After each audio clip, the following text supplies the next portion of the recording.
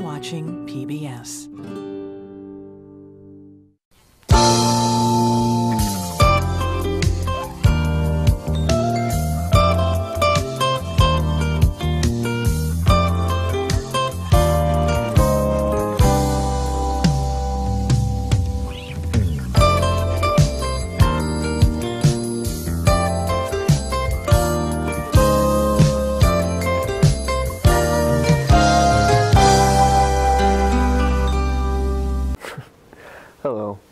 The show with me, Bob Ross. And now our director guys are going to show the colors you'll need on the screen there. And we're going to make a happy little painting. And uh, so let's get this puppy started. So now you're going to want to use your emo black here. And you're just going to make some, some happy little clouds. Just, just fill them in, just, just like, just like that. And remember, don't follow exactly what I'm doing. Do your own thing. This is, this is your own, your own painting. This is your world. You can do whatever you want. Okay? And so when we're done with the emo black here, we're going to use the sewage green. And then we're going to draw happy little tree. Just, just right here. You want to make the trunk just, just like that. Just fill her in. Yeah. And then you want to continue using the sewage green, and then you just want to make some, just make some branches. Just barely touch. Just barely touch. Okay? Just like that. Just little branches. Happy little branches. Okay. And then after we're done with that, you're just going to want, want to make some leaves. Just press on the board just like that. Just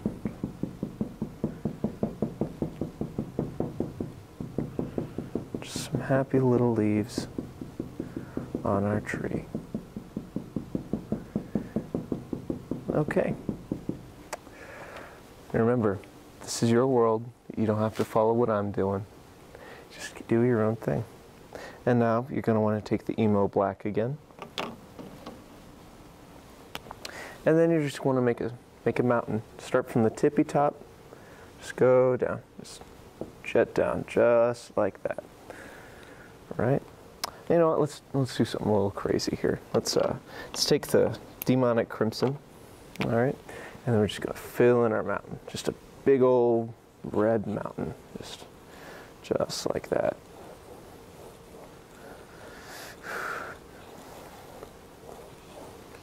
Just color it in, very just long, easy strokes. Remember, once again, this is your own world. You don't have to do exactly what I'm doing. So you can just make anything else, anything else you want. Just, just like that if you wanted. Okay. Oh, and then we're going to take the, the demonic crimson again. We're just going to draw some little red apples. Let's make an apple tree. Some little red apples. Like the ones from Snow White, except a little less poisonous. Some, some red apples. Like that. All right. And then we're going to want to take the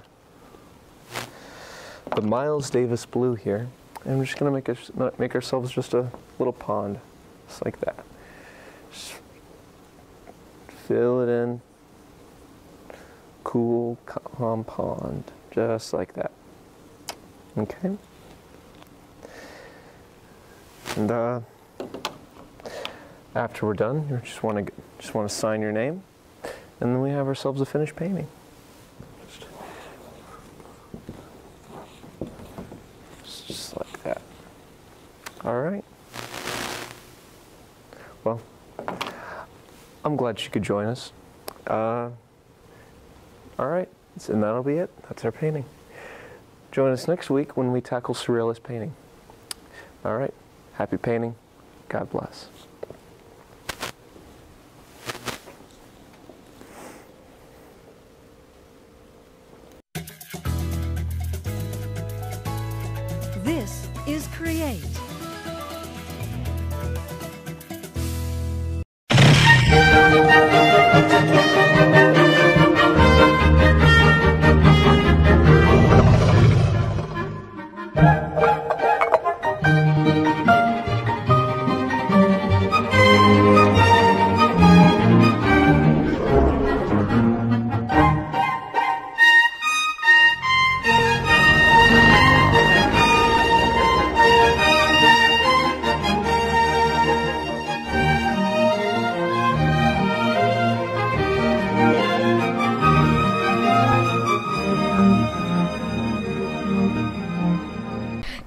On Antique Roadshow, we're at Affton High School, a learning environment for students of the Affton area.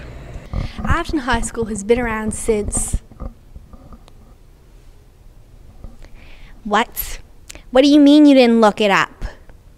Uh, I didn't have time. You're fired, okay? Affton High School has been around since. for a very, very long time. Some say it's an antique itself. Let's go look at some antiques. Today on Antique Roadshow, I have this lovely young lady. What do you have for us today? I have an antique textbook. A textbook? It's That's really, not an antique. but it's really old. Get out, you useless. Who's next? Hello, I'm here with.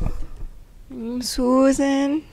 And what do you have for us today on Antique Roadshow? I have this this really old pencil. A pencil? Seriously? How is that an antique?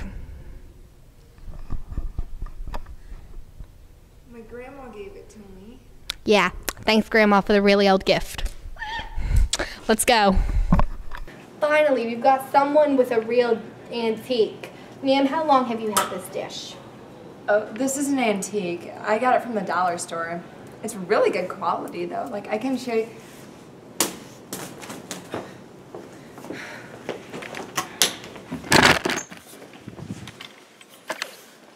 What's wrong with this podunk town? Don't they know what an antique is? God, I am so sick and tired.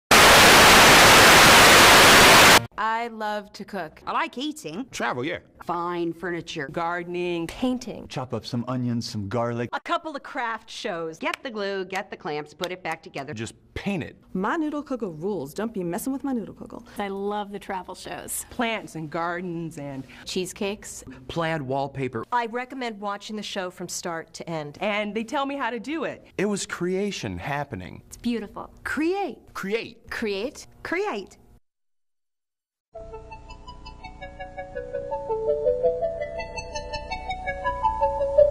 Butterfly in the sky. I can go twice as high.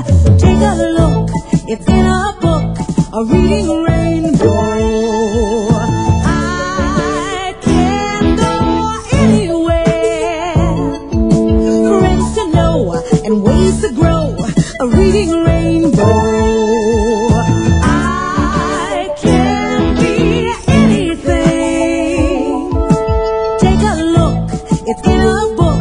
A reading rainbow. A reading rainbow.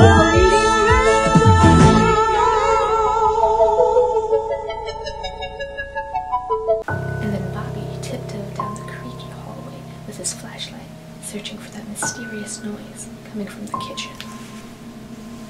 What was that? Mr. Snuggles, should I check where that noise is coming from? Okay, stay right here. I'll be back.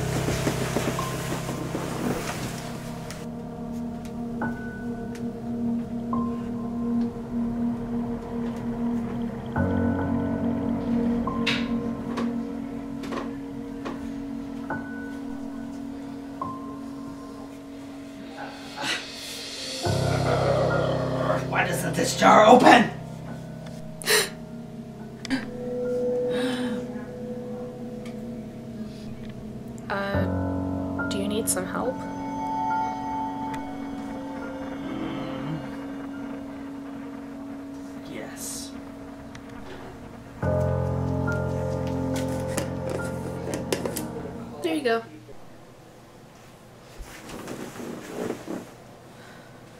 Mr. Snuggles, you won't believe what I just saw in the kitchen.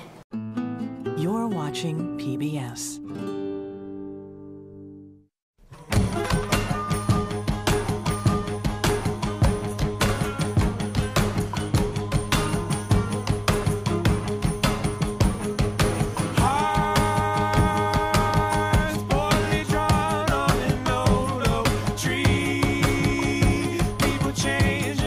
Victory Garden's Edible Feast is a relaunch of the classic PBS series, combined with the deep local knowledge of edible magazines. From Minnesota to Memphis, the Bay Area to Brooklyn, we'll learn about everything from crab trapping and grass fed dairy to fermentation and rooftop farms.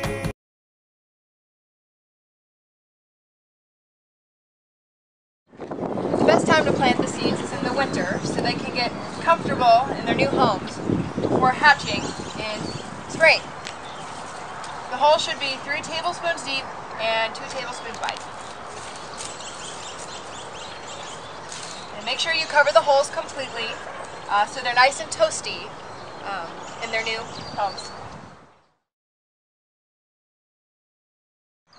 We have given our plants four weeks to start growing, and um, well, you can really smell the progress in the air, even though you can't tell.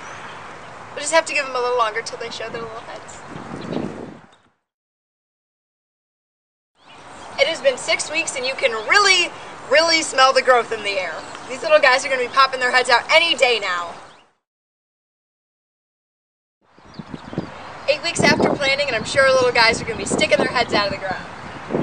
What's going on? Oh, that's. Um, Pansy, your your seeds are jelly beans.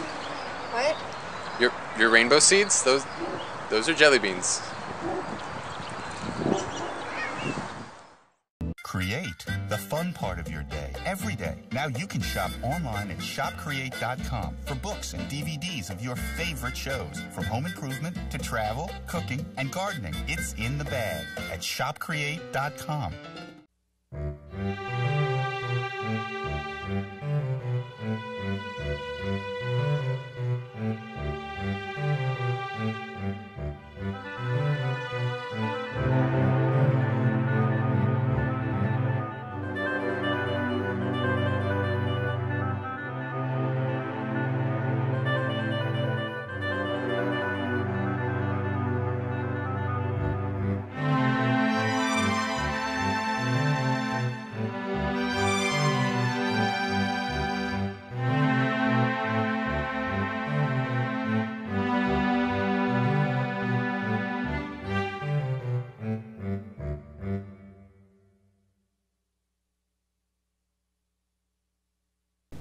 Hello there, my name is... You know what, it's not important. Me telling you my name going to help you make these great recipes. Now, I'm going to show you how to make a recipe I found off the internet. I believe it's supposed to be brownies. Well, anyway, let's get started. You need a nice big mixing bowl, a blender, a whole bunch of food you don't need. So just dump it all in. Yeah. And now you add this secret powder. And now you can buy it almost anywhere. But however, you can buy it from me for a low, low price of $20. So just add a bit of that in. Now, carefully add a little bit of salt. And now, you mix it all up. I like doing this with my bare hands. Okay. Now, if you don't think this will be enough brownie batter, add some paper in this filler. I find it makes it gives a very zesty flavor. Now, dump all of it in to a blender.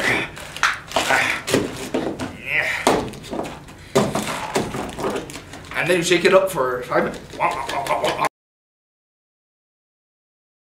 Now, get this wonderful brown dough looking stuff and put it in here.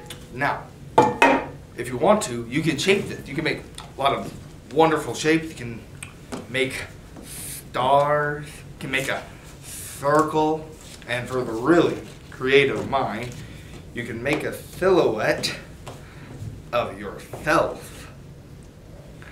And now, place it all back in the bowl and put it in about 30 minutes. Now, real important, remember to clean up your area, otherwise you'll be greeted by a friendly swarm of ants in a few days. Join me next week as I show you how to make a cherry pie out of nothing but tree bark and red paint. Log on to createtv.com and explore your passions. Learn more about your favorite hosts and shows. Find the latest schedules and recipes. Do some shopping and get how to tips. It's all here at createtv.com.